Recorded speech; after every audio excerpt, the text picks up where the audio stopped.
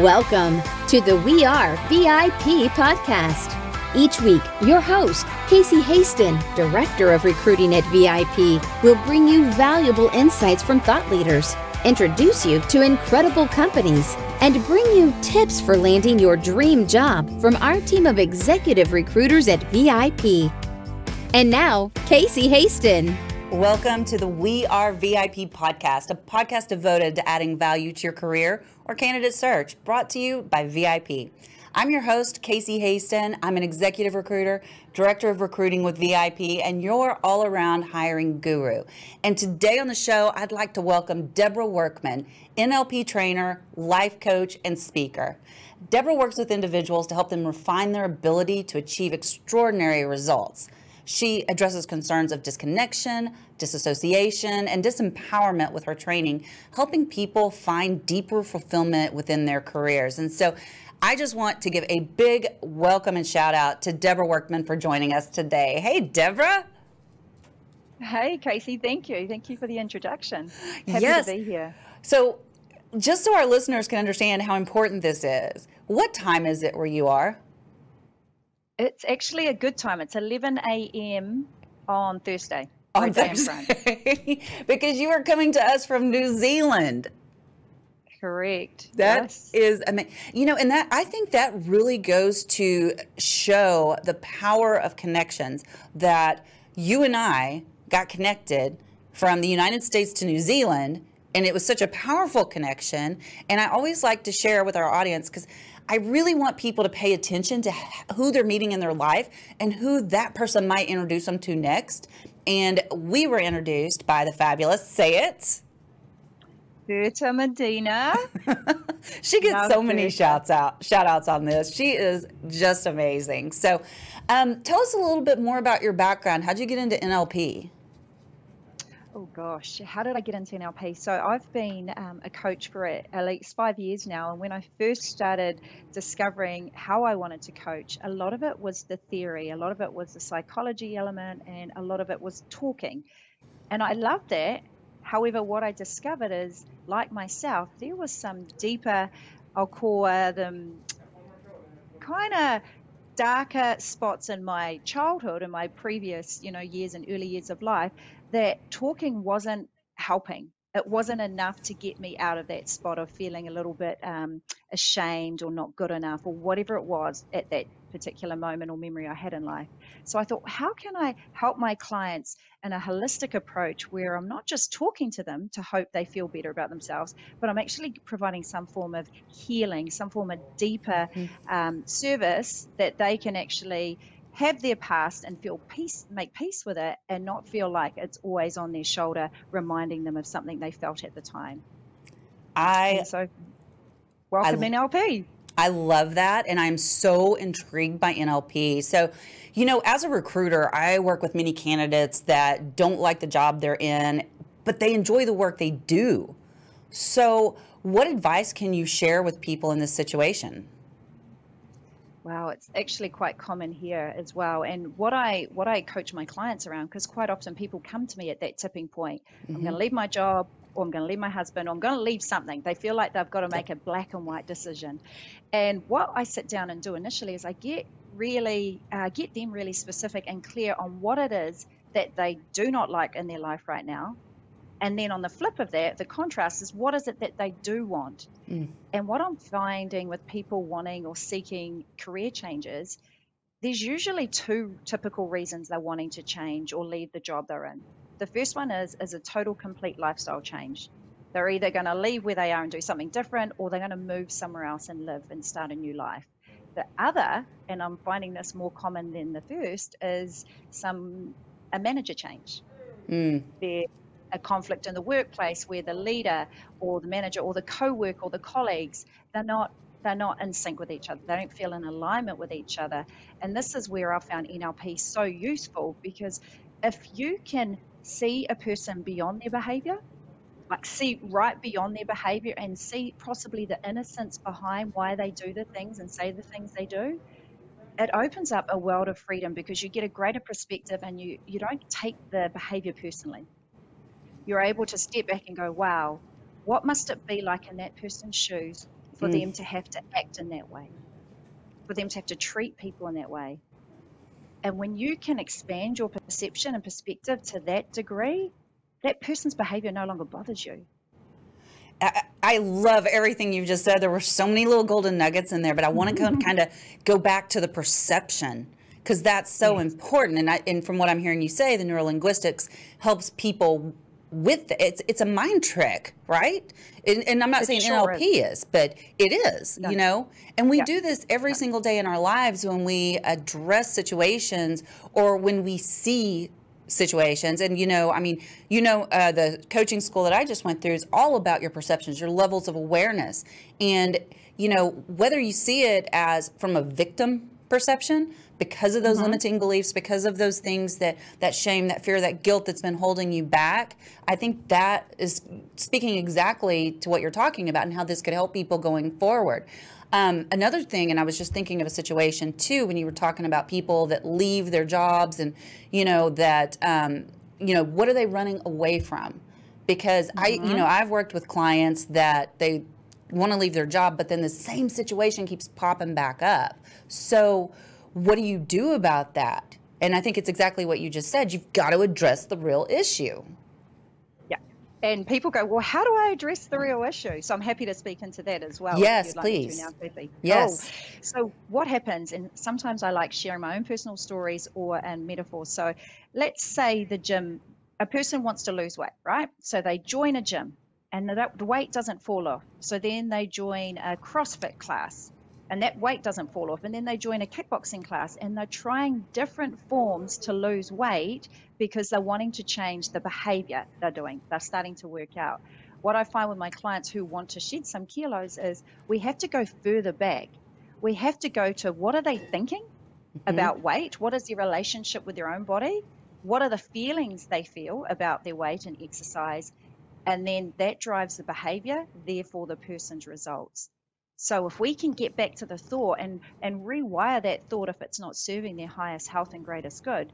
For example, if someone's thinking, I'll always be big, I'll always be fat, my parents were big, my, my grandparents were big, I'm stuck in this body, that's going to deliver feelings of helplessness. That's going to deliver feelings of, you know, being at this low vibration, this low mood state.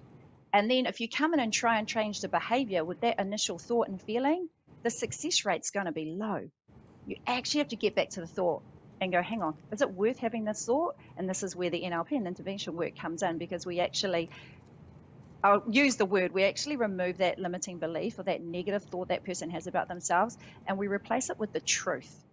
Mm. And we open up their mind to actually go, whoa, this is something I decided at the time, but it's not who I am. And there's, there's just powerful, profound magic that happens when they can rewire their thoughts. Wow, this is such good information. And I love that you said that. So I'm curious. I've been reading a lot about the reticular activation system. Does that mm-hmm. play into NLP at all? Because that's a lot of what controls what we see. Absolutely, it does. It very it so does. So visualization is is quite big in NLP, and also, and when you're going, I know we're going to talk about job interviews as well. I hope so. I talk about how you bring that into work for you, rather than visualize the worst case scenario and go into an interview feeling nervous. So the uh, going back to your question, how it plays a key in NLP is what you set your mind to, what you focus on, that goes into action to go and deliver that for you. Mm-hmm. So if you're going into a situation where you're feeling doubt or dread or, or fear or terror, unfortunately, you're attracting that because yes. that's where your focus is. So if you can get back and go, hang on, I'm actually feeling in a place of c- courage right now, and I'm excited about doing something out of my comfort zone, you start seeing more of that evidence. You start seeing more excitement. You start feeling courageous. So it truly is what you set your mind to, you can create. I, I, love that. And this is a subject that I'm so fascinated with. I had somebody tell me the other day, they're like, You are so lucky. And I'm like, I'm not lucky. I look for opportunity everywhere. I've trained my brain to look for opportunities. And because I look for them, I find them. And so, in that reticular activation system, often referred to as the RAS, is such a powerful little piece of our brain. I really encourage people to, you know, check it out, go look, go do some research on it and see how powerful that is and how that negative thinking or that stinking thinking, as uh, Zig Ziglar used to call it, doesn't serve you. It's not going to help you be successful. So, so, and that leads right into my next question. So, why do some people feel successful but are still dissatisfied with their careers? Mm-hmm. This question makes me smile because that was me um, mm. many years ago when I was in the corporate arena. And what I discovered, I didn't know it at the time, was my outer success wasn't connected to my inner fulfillment. So I was out there creating what I thought would make me feel satisfied, would make me feel complete. And when it wasn't working, I went and chased more and more of it. So I got stuck in that rabbit wheel of um, when then. When I get that promotion, then I'll be happy. Mm. When I meet that man, then I'll be happy. When I buy that second, third, fourth, fifth house, and guess what? I chased a few of those things, and when I got them, the happiness wasn't there.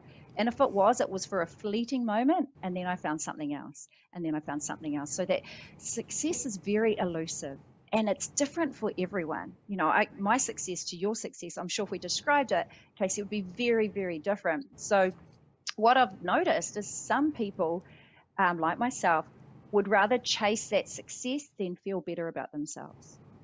Mm. And that's where the dissatisfaction comes in because they keep thinking in order to feel better, it's something that has to happen, something that has to happen outside of them. They don't realize it's something that's within. They just haven't opened up that innate, innate well being within. Okay, so I want to share something with you that I say all the time, and you tell me if this is what you're talking about. Okay. Because I think yeah. it's so important. I used to be like, just like, and I love that win then, totally stealing that from you. Win then. Um, but I used to be that person like, when Christmas gets here, then I'll be happy, you know? Or when I get to go on that trip, then I'll be happy. And then the whole time I'm on the trip, I'm worrying about when it's going to be over. Okay. And so now I've learned to focus, and my mantra is to enjoy the journey, enjoy every mm. moment of the journey, because we're all going to the same place, right? There's only one end in sight for us. We don't know when that is, but you've got to enjoy every step of the journey. And I feel like if I were to describe my success, that would be it. That I'm enjoying this moment right here with you just as much as I'm going to enjoy the next moment when I go have dinner with some friends. Uh, Agree. And you're bringing that in, yeah. right? You're putting your mind on that and it's feeling good right now and you're going to create more of that. So I love it's exactly what I was referring to. perfect example. Eh, you know, and I also heard somewhere that, like, when you anticipate something, and it's okay to anticipate, but not to forego the moment when you're anticipating, that you live that moment then, then you live the moment in the real world, and then when you reflect back, you live that moment again. Do you believe that? I do, and it's similar to um, what I one. I feel like I'm dropping NLP in everywhere. It's um, just because it's a good example. We do a visualize, visualization technique where I picture something that's coming up for me, mm-hmm. going through to um, completion, and I and I imagine it, and I look back and realize how um, easy it was, how effortless it was, and how good I felt, and how everyone in the room was able to receive and learn something if that's what my intention was. And then I come back to now and let it go and I guarantee it happens just as how I imagined, just as how I visualized. So important. Visualization is so important. So, okay, since we keep talking about NLP, what is NLP and how can it help people reprogram their minds? Sure. Yeah, I love talking about this. Okay, so I'll do the Reader's Digest version. Otherwise, you'll be kicking me off before we get to the next question. Um, Neuro linguistic programming. So NLP, that's what it stands for. So N is the neuro. So it's all about our mind, the physical, the mental, the emotional components of our neurology.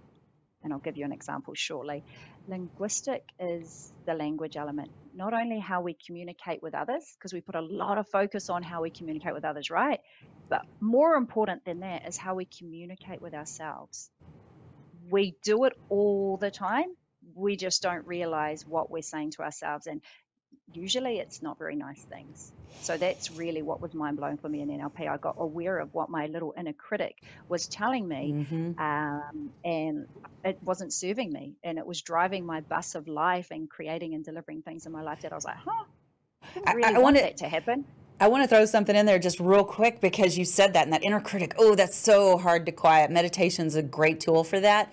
But I had one of my mentors tell me one time, they're like, Casey, if somebody had a, held a megaphone up to your head and people could hear what you're saying to yourself, you would be committed. And I was like, oh. so sorry yes. to interrupt, but. No, I agree. We what I learned is we abuse ourselves with our yes. own thought. We do, and do you know what? We have around seventy to ninety thousand thoughts a day. I, I, believe my busy mind was up at ninety thousand easily. Mm-hmm. Of those ninety thousand thoughts a day, eighty percent of them are repetitive.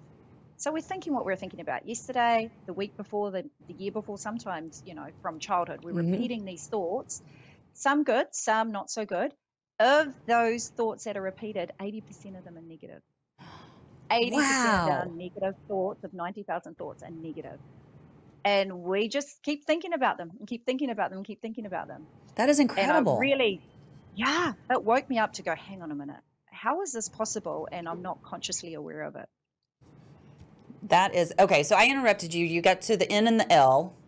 Oh, sorry. The P is for programming. So this is again how we store and run strategies in our mind, maybe past experiences, memories, thoughts, our emotions. It's all how it affects our lives. Like if I was to give you an example, when I go to buy a car, I have a strategy for buying a car that's unconscious. Mm-hmm and I'm not even aware, well, I wasn't aware of it until I actually sat down and had a, a wonderful coach help me with it. So, when every decision we make in our life, we have a strategy for it. We have a strategy to love. So, my strategy to know um, I feel loved by my husband will be yours. We don't pay much attention to it though.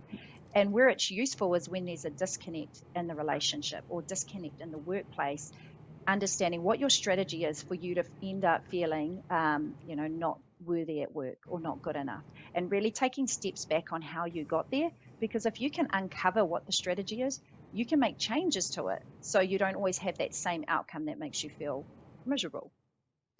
Well and i think writing scripts in your head and I and I feel like NLP is a great tool to stop those scripts and write new ones is such a detriment to most I, I know it was for me. When i finally and i had a coach on this too when i finally stopped yeah. writing scripts in my head and i'm not going to say i never do it it's natural but because you want to fill in those gaps of information that you don't have and it's usually with something negative unless you're really working on it. But when i stopped doing that I, you know that's so many moments of fear i didn't have to have anymore. It was beautiful. Correct Beautiful. Life just gets easier around you when you can really. Um, so basically, NLP is like learning the language of the mind and creating more of the thoughts and feelings that you want to have, and ditch the ones you don't. And when I, I say ditch, you don't beat them up or anything. You just don't give them any more airtime. They don't take up any more space, and they don't take your focus away from what it is you want. And that made my life so much more simpler, quieter upstairs because we For sure we love our minds. We we hang out there. We live up there for quite a bit of our life. And um, I just realized that um, I started craving ordinary. Like I talk about it and I say, ordinary for me is the new special. When we get up, when we give up wanting to be special, we realize being ordinary is the new special. So interesting. My life isn't as busy as it used to be, and I may have not have. I don't have what I wanted to achieve front of mind anymore Yet I am so fulfilled in the simple things. Simple things like noticing a tree, noticing a flower, being with my dog in the morning. Just these small things that I didn't see when I was running on, I don't know what you call it, stress and adrenaline to be more successful in my career. Yeah, and, and that leads me kind of to my next question because I think we had talked about this before, but how does being a perfectionist cause harm to one's personal and professional life? There's no off switch. When you're a perfectionist, you're on 24 7. Yes, you may sleep, but even while you're sleeping, you're thinking, you know, what am I doing tomorrow? What next? What next? What next? And I found it for me and my clients that I now coach. It's interesting. Where you were is generally what you end up coaching people through, which is great because you're not just sharing knowledge and intellect, you're sharing insights and experience.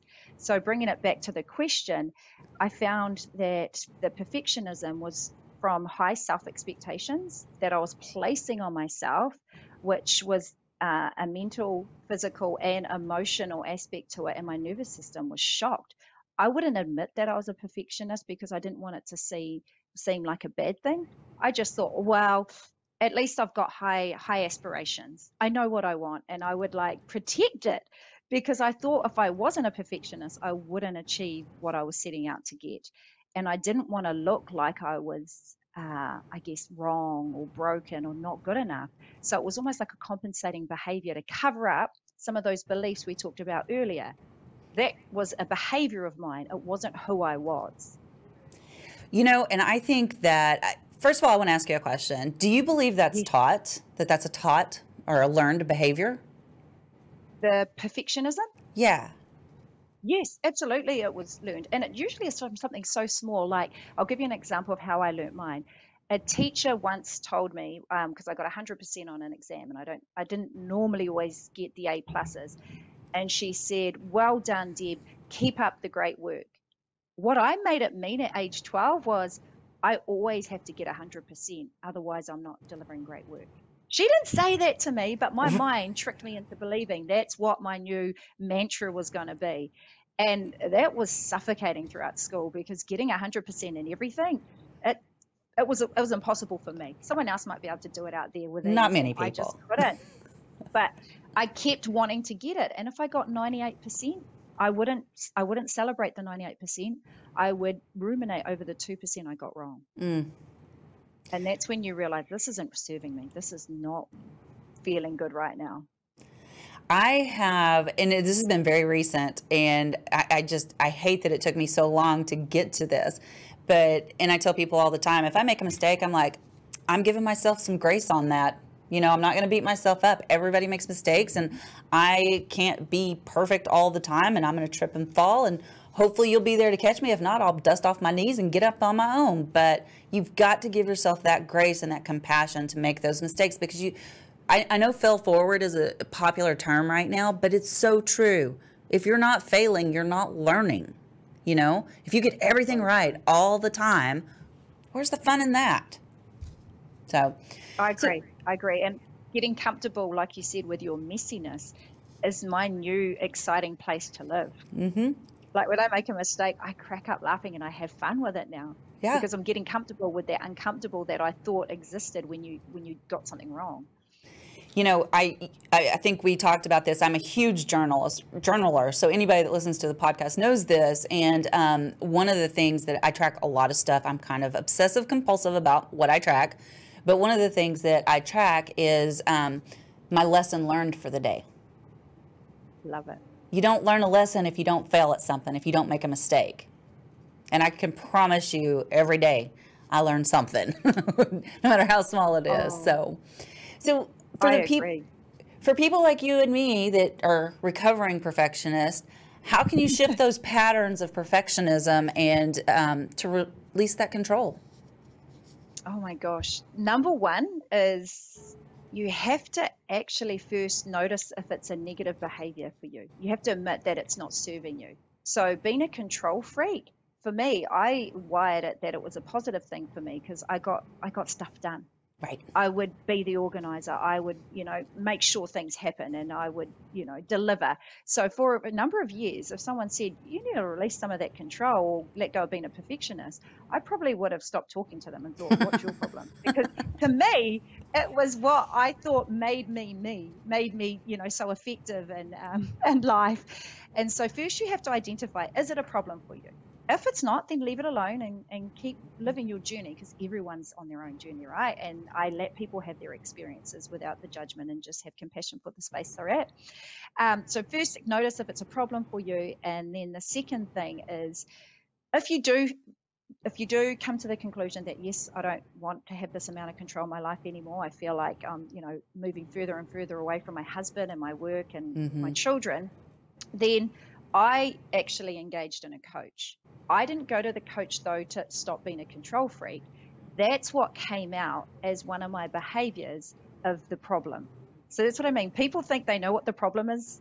I guarantee you, and this is a big thing I'm staking right now, whatever a client comes to me with as their presenting problem, that ain't it. Mm, yep. It's deeper. It's deeper. Like my control was what people would deem as my presenting problem, but my control was operating over top of a belief about myself that wasn't serving me. So that I had is... to get really comfortable and have that coach help me with the belief and leave the control alone, knowing that once the belief was reframed, once the belief was released, that behavior would be released as well. So it's good to have a coach that doesn't work with you on the symptoms of the problem, that you have a coach like myself and others I know that work with the cause, the deep cause. Otherwise, you're going to keep having those problems appear in life. You'll go to another job and you'll find another manager that annoys you. You'll go to another job and, oh, look, this manager's annoying me again. You haven't got to the cause of why you get triggered by these people in your life so much good stuff again mm-hmm. i love that and i love that you've used your coach but you still have used coaches in your career to help you get better. And uh, my favorite saying is you can't read the label on a jar from inside the jar. You've got to be so outside, right. right. So you need that other perspective, that somebody to hold that mirror up so that you can see what it is that's holding you back. It's just so important. So what advice can you share with job seekers to help them not stress or, you know, um, when they're searching for their next job? Yeah gosh, there's so many things. I was just thinking what's coming up is um, we really need to stop fighting ourselves. And what I mean by that, as soon as I stopped fighting myself, I found myself. So if you're out there and you're like, oh, I'm having no luck with these jobs and I'm applying and it's just not working for me, I say start again with getting clear on what it is you want, anchoring into what that feels like, okay, if I'm working in that job, this is what my office is going to look like, I hope. This is what the people are going to say to me. This is the clothing I'm going to wear to work. This is a chair I'm going to sit in. Like, get really specific mm-hmm. on what it is you want and put yourself there and smile and enjoy that feeling and really uh, allow your mind, the reticular activating system, to go searching for that rather than searching for, I'm not going to find the job I want, no one wants to hire me, you're actually setting that up for yourself. So I always start with that. I then also ask people to mind their habitual thoughts. Like, mind their habitual thoughts when they're looking for something and feeling quite hopeless towards it. Let that go and turn your feelings of nervousness into excitement because in the body, excitement and nervousness feels the same. Mm-hmm. So if mm-hmm. you are saying to yourself, I'm nervous, and you feel like it's nerves, go, no, I'm actually excited. I'm actually excited. I'm actually excited. And do what you need to to shift your state. Some people like to stand like Wonder Woman and put their hands in the air for a couple of minutes before they go into an interview because it's impossible to feel a negative emotion when you're looking up and got your hands in the air. You try and say I'm miserable when you're up there and doing it. It doesn't it doesn't kind of click in. Um, some people like to meditate before a job interview, or they might just need to go in the mirror and talk to themselves and, and say some stuff that they actually believe and is positive. Now, there's a difference. Some people say to me, Deb, affirmations don't work for me. And I agree with them. There is an element of affirmations that don't work for people if they have a belief that is the opposite. Mm. So if I'm standing in the mirror going, Deb, you've got this. You are so worth this. You're worthy, worthy, worthy. And then deep down, I've got something still lingering that tells me I'm not worthy. The unconscious belief will win over any affirmation I put on top of it. So, this is where I work with people to go, let's get rid of the beliefs that will actually be um, uh, opposite to what it is you want, those affirmations, so they can actually team up and integrate and be congruent rather than incongruent. That is so great that you just said that because it really echoes what Hal Elrod, the author of The Miracle Morning, said a few episodes ago. And he gave a great formula. And I'm not even going to try to give that formula here. Just go back and listen to the other episode. Um, but it was so good. And he said the exact same thing. He says, People have been doing these affirmations wrong. This is how you need to do it. And he laid out this formula. It's like, I am, in whatever it is, because and, and, like I'll butcher it, so um, just go back and listen to that. But it was basically exactly what you just said because if you've got that opposing belief, it's not going to work because you can say it all day long, like I have a million dollars in the bank, and I'm sitting here going, no, I don't. You know, You know, I am a millionaire. Yeah. No, you're not. so, so that makes perfect totally. sense. Yeah. So, totally. Or I've had a client say, I'm going to meet the man of my dreams. I'm going to meet the man of my dreams. And then she's got a belief saying love isn't safe. Mm. So the belief's going to win. And then she's not going to meet that man. So it's nice to unravel that so she can meet the man of her dreams. such good stuff. Such good stuff. So, what advice can you share to help people pursue success in their careers without sacrificing those personal relationships? Gosh, uh, I, for me, would recommend, um, and you could do this on your own. I use my coach, but you can do this on your own, where you get really clear on what's important to you in your relationship or your personal relationship. So, what is the important values you hold there? And then, what are the important values in your career? And be clear and be concise because if you know in your relationship your husband's number one value for you and your number one value for him is quality time, and you're working 24 7, you're going to cause a conflict in your personal and professional life. So get really clear on what's important to you in your relationship, what's really clear important to you on your career, and work in where they can intertwine and support each other rather than disconnect and move you further and further away from each other. So I get really clear on that. I am a big fan of the love languages. If you haven't mm-hmm. already done it, my love language is acts of service. And so my husband knows that, and I know what his is. And we get to communicate and match each other where we're at. And I think that's been really valuable as well. So um, it's basically also honoring your personal boundaries. So, what I mean by that is to be successful in my career, I actually don't negotiate how much sleep I have. My sleep is set, and I know I'm a better, more effective person if I get seven and a half hours. So I will not let my sleep suffer in order to um, to be at work at a certain time. Mm. I will make sure that bucket's protected so I can be more effective and I can be more wide doing less. And that's the difference because I had the formula back to front in the past. I thought the more I do, the more I be, when it's actually who we be is what we see out there in the world. So I protect my personal boundaries around sleep, around my morning meditation, around walking with my husband and dog every morning. I know if I skip those, I might as well stay in bed all day because I'm not the same energized, peaceful, content human being if I skip over those. So get really clear on what it is that fills your cup and and honor it. That is such good information. And I love that you brought up the love languages. And I just want to touch on that for just a second because I, after do, reading the love languages, we discovered a real big flaw in our relationship. Steve and I did, and that was his love language was acts of service as well. My love language is words of affirmation, and so I was treating him with my love language, and he wasn't getting it, and he didn't understand why I wasn't doing things yeah. for him, acts of service, and he wouldn't you know, he wasn't just all flowery with words towards me. And I'm like, God, can't you just tell me I'm pretty sometimes? You know, words of affirmation that I did a good job. I, so that's such a great tool, even in business, to figure out how people want to be communicated with.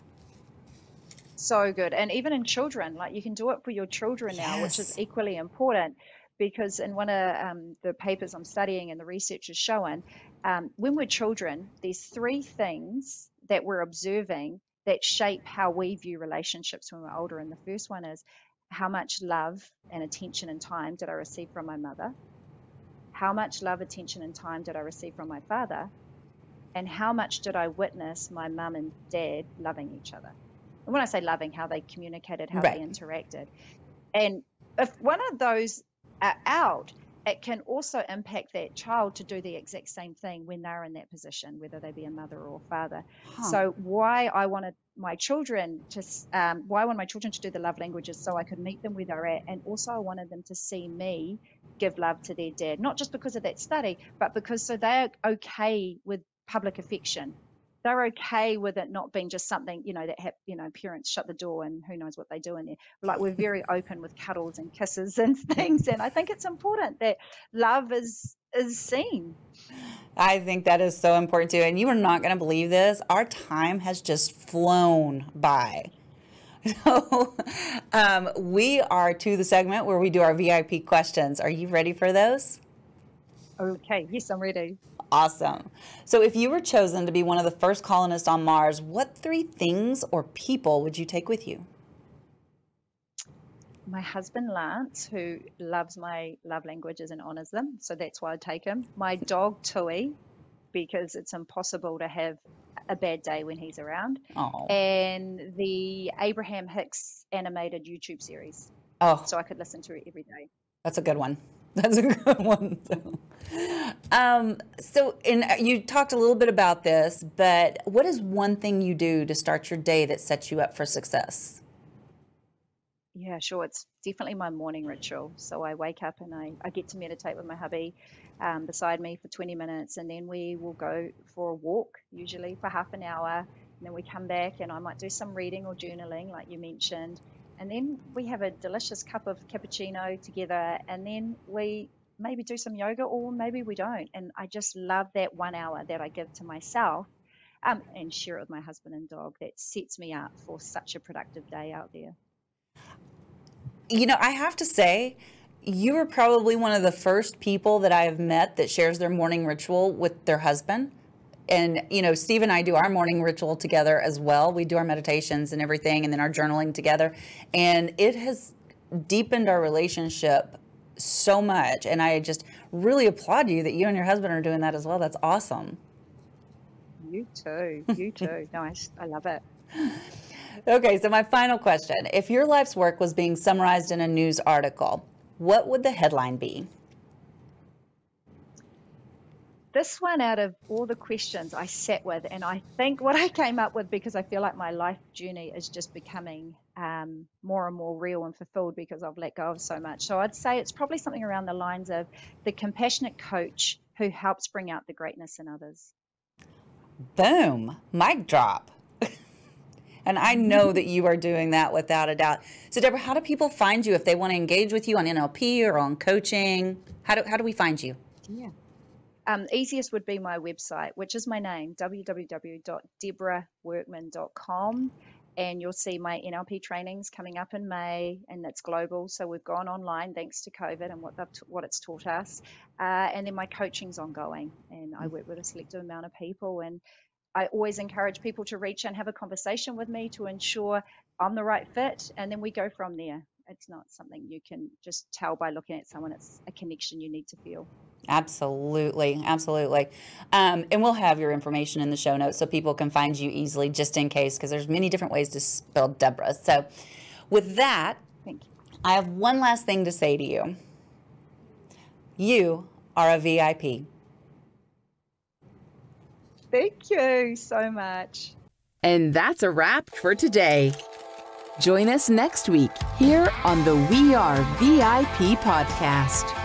We'd love to know how we can help you be a VIP. To find out more, log on to wearevip.com.